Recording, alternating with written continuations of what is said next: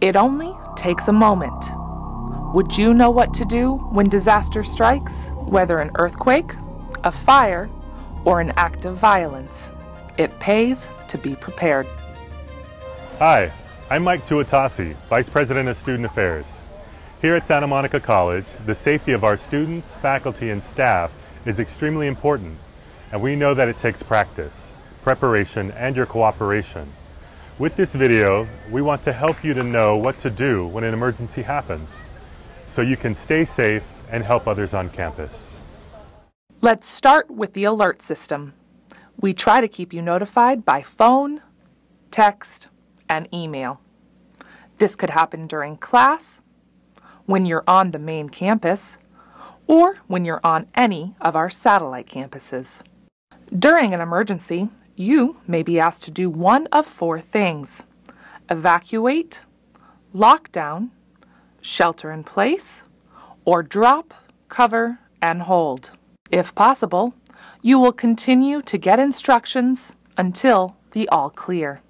If you are inside a building and ordered to evacuate, please leave quickly and carefully. Gather your belongings and walk to the closest exit. Take the stairs, do not use the elevators. Above all, keep calm. In a lockdown, make sure that everyone knows what's going on.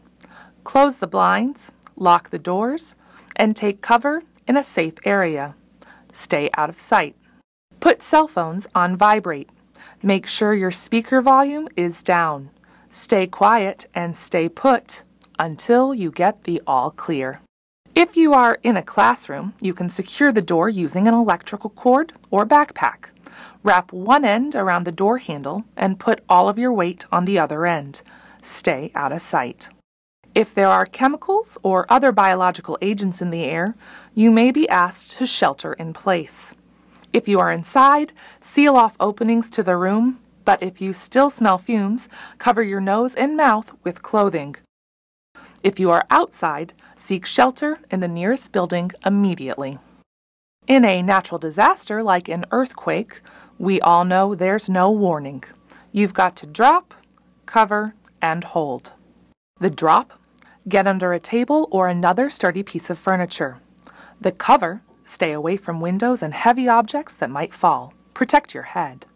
The hold, stay put until the shaking stops. Santa Monica College has a diverse community of students, faculty, and staff, including those with disabilities. If someone has mobility issues, ask if you can assist them. This also holds true for people with vision impairments. Ask them if they want to hold your arm and help them avoid debris. If someone is deaf or hard of hearing, get their attention by eye contact, waving, or gently touching their shoulder or arm. Use gestures, pointing, or a brief written note to let them know what's happening. If a person with a disability isn't able to evacuate, escort them safely to the closest designated area of rescue. These are usually at the top of enclosed stairways. Then, evacuate the building yourself and report the location of the person as soon as you can to emergency responders. To find out more about how you can help a person with a disability, please visit our website at www.smc.edu forward slash emergency. Throughout the year, SMC takes steps to keep you safe when an emergency arises. Our Emergency Preparedness Committee is responsible for the Emergency Operations Plan and the drills that get us ready. Our crisis intervention team provides mental health support and identifies and responds to behaviors that may pose a danger. Our CERT volunteers are staff, students, and faculty who are trained in light search and rescue and can help with basic emergency care.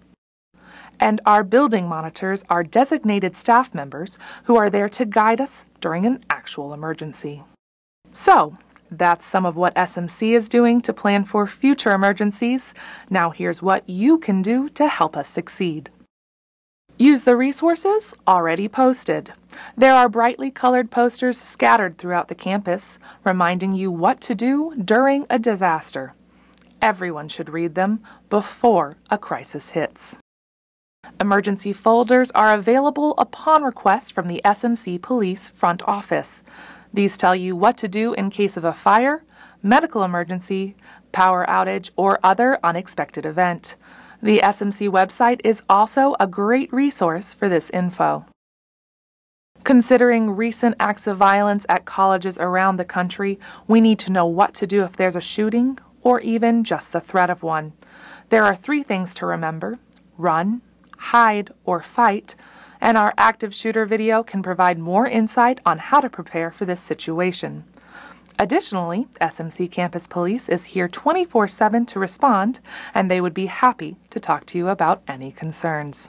And if you ever have an emergency on campus, please program the police dispatch phone number into your cell phone 310 434 4300 or call extension 4300 from any campus phone. You will be connected with the SMC Police. We are a place of learning and it's important that we all learn what to do in time of crisis. Resources are available at www.smc.edu forward slash emergency. At Santa Monica College, we are all responsible for keeping our campus safe.